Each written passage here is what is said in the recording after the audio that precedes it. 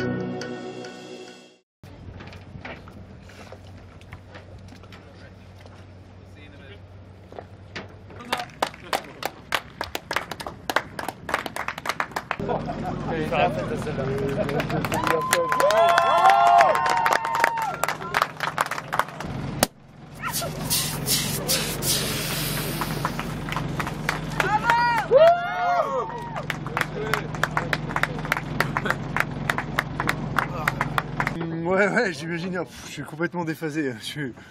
euh, genre, en fait, j'en reviens pas du tout. euh, Il y a deux mois, je devais même pas faire la solitaire, donc euh, me retrouver là, gagner la première étape, c'est assez incroyable.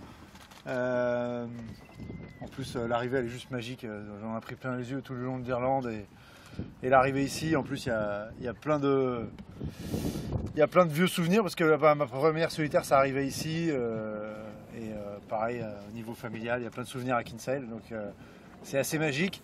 Et après, pour la course, bah, c'était une, des plus grosses prises de décision que je crois que j'ai jamais eu à faire en, en 8 solitaires, je sais où j'en suis. Et euh, vraiment d'avoir un, jeu aussi ouvert sur un espace aussi grand, c'était génial. Quoi, parce que là, on, a pu vraiment prendre des risques, faire des vraies analyses météo et, s'éclater là-dessus.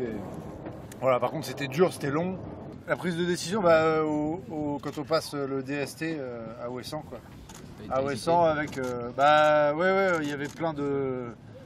Il y avait quand même une sacrée liste de facteurs à mettre euh, sur la table. Et. euh, je vais pas faire l'explication là parce que je vais ennuyer tout le monde.